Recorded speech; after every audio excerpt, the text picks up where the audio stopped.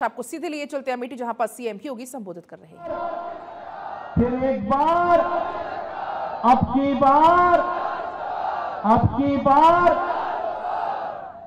ये 400 पार, जब हम 400 पार की बात करते हैं तो कांग्रेस और इंडी गठबंधन को चक्कर आने लगता है कि 400 पार कैसे होना है। बहन और भाइयों, मैं आपसे बताना चाहता हूँ, सबसे पहली बात कि कांग्रेस समर्थन के लिए किसी भी पार्टी को समर्थन करने के लिए, पूरा बहुमत की सरकार बनाने के लिए 273 सीट चाहिए। कांग्रेस इतनी सीटों पर ही चुनाव नहीं लड़ पा रही पूरे देश के अंदर। तो क्या ये सरकार बनाएगी क्या? दूसरा है दूसरा है, जो कांग्रेस मॉडल देना चाहती है। बहन और भाइयों उससे बचना। इसलिए बचना, मैं उसमें बाद में आता हूँ। लेकिन जब देश के अंदर अलग अलग राज्यों में मुझे जाने का अवसर प्राप्त हुआ, पश्चिम में पहले चरण, दूसरे चरण, तीसरे चरण के मतदान के बाद जब भी हम जनता जनार्दन के पास गए, हमने कहा भी, फिर एक बार मोदी सरकार आप चिल्ला रहे हैं, अब की बार 400 पार की बात कर रहे हैं कैसे होगा? तो हर एक ओर से एक आवाज़ आती थी और वो आवाज़ क्या आती थी? लोग एक ही बात कहते थे कि जो राम को लाए हैं, जो राम को लाए हैं, और ये तो अवध क्षेत्र है। अवध क्षेत्र के लिए तो एक नया बिहान है, एक नया सवेरा है। 500 वर्षों का इंतज़ार समाप्त हुआ है। अयोध्या में प्रभु रामलला विराजमान हुए हैं और इसकी बधाई आप सबको। विशेष रूप से बधाई। और इस पूरी लड़ाई को अगर आप देश के अंदर देखेंगे ना, मोदी जी के तीसरी बार आने का, मोदी जी का तीसरी बार आने का प्रधानमंत्री बनने का दो ही विरोध कर रहे हैं। दो लोग कौन है? एक रामद्रोही है और एक पाकिस्तान है। यही दो विरोध कर रहे हैं। पाकिस्तान को भी अच्छा नहीं लग रहा है, क्योंकि उसे मालूम है, कांग्रेस के समय जब आतंकी विस्फोट होते थे तो कांग्रेस के नेता क्या कहते थे? कांग्रेस के नेता कहते थे, वो सीमा पार से। आज तो नहीं है ना सीमा पर का आतंक आज तो ज़ोर से बम विस्फोट हो, कहीं पे पटाखा फट जाए ना तो पाकिस्तान सबसे पहले सफ़ाई देता कि साहब, मेरा हाथ नहीं है। क्यों उसे मालूम है? ये मोदी जी के नेतृत्व में नया भारत है। ये छेड़ता नहीं है, लेकिन कोई छेड़ता है तो उसको छोड़ता भी नहीं है। और इसलिए बहनों और भाइयों, तुलसी बाबा ने तो पहले लिख दिया है। हो है वही जो राम रची राखा।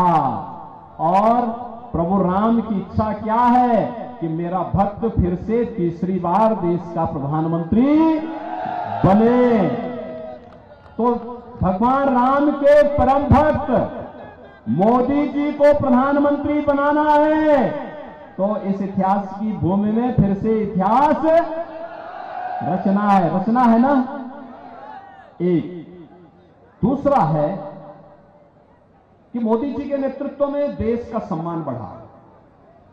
देश की सीमाएँ सुरक्षित हुई आतंकवाद, नक्सलवाद पूरी तरह नियंत्रित हुआ। विकास के बड़े बड़े कार्य हुए हैं। Highway, railway, metro, one district, one medical college. बहनों भाइयों, हर घर नल की योजना, हर तहसील में fire station IIT, IIM, AIIMS, NIT world class university बन रही है। और गरीब कल्याणकारी योजनाओं की बात जो एक पाकिस्तान का राग लाप रहे हैं ना इन कांग्रेसियों से पूछिए कि जिसको पाकिस्तान से प्यार है वो पाकिस्तान में जाए। लेकिन हिंदुस्तान में मोदी जी के नेतृत्व में 10 वर्ष के अंदर उतने गरीबों को गरीबी रेखा से उभारा है। जितना पाकिस्तान की आबादी, उससे ज़्यादा लोग 25 करोड़ लोग गरीबी रेखा से ऊपर उठे भारत के अंदर। और पाकिस्तान के अंदर 23 से 24 करोड़ की आबादी भूखों मर रही है और भारत 80 करोड़ लोगों को फ्री में राशन की सुविधा का लाभ दे रहा है। यह है नया भारत। पाँच लाख रुपए की आयुष्मान भारत की सुविधा। और देश के अंदर 60 करोड़ लोगों को, किसान सम्मान निधि 12 करोड़ परिवारों को 12 करोड़ घरों में देश के अंदर शौचालय, और चार करोड़ घरों को, चार करोड़ गरीबों को घर। एक लाख चौदह हज़ार तो के लिए अमेठी में बन गए। क्या कर रहे थे कांग्रेसी खानदान? क्या कर रहे थे लोग? यहाँ के गरीबों को मकान नहीं दे सकते थे। यहाँ के घरों में पानी नहीं पहुँचा सकते थे। नारी गरिमा के प्रतीक शौचालय नहीं बना सकते थे। लेकिन नहीं, ये तो दादी ने जो नारा दिया था 1970 में, पोता भी वही रखता जा रहा है। और जब इनसे पूछा गया कि क्या करेंगे, उन्होंने कहा, गरीबी एक झटके में मिटा देंगे। कहा, कैसे मिटाएँगे? उन्होंने कहा, संपत्ति का सर्वे करवाएँगे। सर्वे करा करके और फिर इनके बुद्धिदाता आ गए। जैसा नाम, वैसा काम।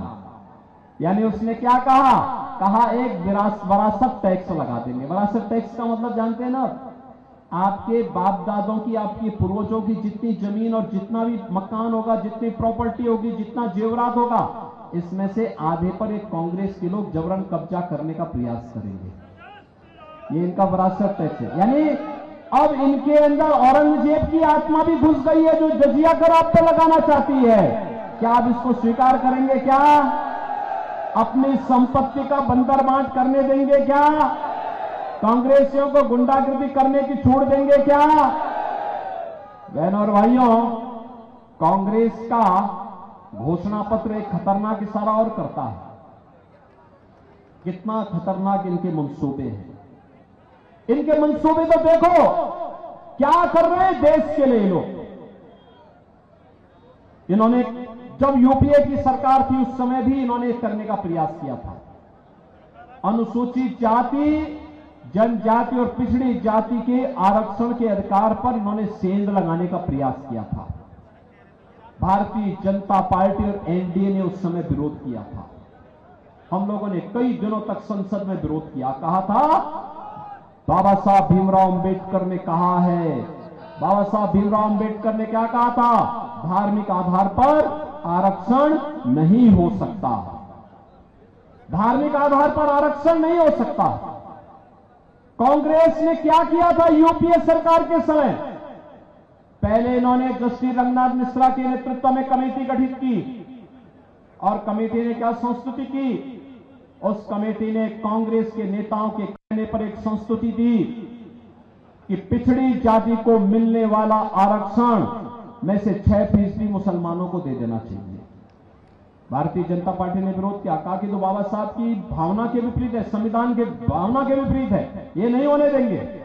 भारी विरोध हुआ, उसको नहीं ला पाएगा इसके बाद इन्होंने प्रयास किया, जस्टिस राजेंद्र सच्चर की अध्यक्षता में एक कमेटी गठित की। इन्हें लगा कि धार्मिक आधार पर तो ये नहीं दे सकते। तो इन्होंने बैक डोर से क्या किया कि मुस्लिम समाज की कुछ जातियों को अनुसूचित जाति में शामिल करके अनुसूचित जाति के आरक्षण के अधिकार में सेल लगाने का प्रयास किया। इसका भी विरोध किया गया। और जब भारतीय जनता पार्टी ने विरोध किया, तब इन लोगों के मंसूबे पर पानी फिरा। कांग्रेस फिर से कहती है, जातीय जनगणना करेंगे। जातीय जनगणना क्यों करेंगे? क्योंकि जातियों को आपस में लड़ाएँगे। आपस में लड़ाने के बाद फिर कहेंगे कि भाई, आप तो अपना पहले झगड़ा फरियाइए। और फिर आपस में झगड़ा लगा करके आपके आरक्षण को ये लोग फिर बांटेंगे। कोई मुसलमान को देगा, कोई किसी और को देगा, और फिर बंदर बांट करके आपसे कहेंगे कि भाई, आपने तो झगड़ा था, इसलिए हमने आपका दे दिया। और फिर भारत के नए विभाजन की नींव तैयार करेंगे। क्या आप इसको स्वीकार करेंगे क्या? क्या हिंदुस्तान इसको स्वीकार करेगा क्या? बहनों और भाइयों, इनके मैनिफेस्टो में एक खतरनाक बात और देखने को मिली। कांग्रेस क्या कहती है? कांग्रेस कहती है, अगर इनकी सरकार बनेगी तो वह अल्पसंख्यकों की रुचि के अनुसार खान पान की स्वतंत्रता देंगे। कौन सा ऐसा खान पान है जी जो बहुसंख्यक को ना पसंद हो और अल्पसंख्यक को पसंद हो?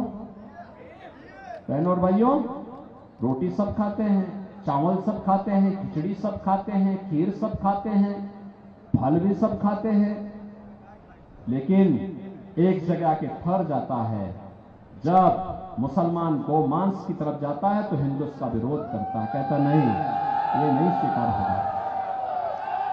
कांग्रेस अब गौ हत्या को भी प्रश्रय देगी।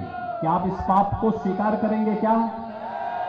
क्या अमेठी इस पाप को स्वीकार करेगा क्या? क्या हिंदुस्तान इस पाप को स्वीकार करेगा क्या?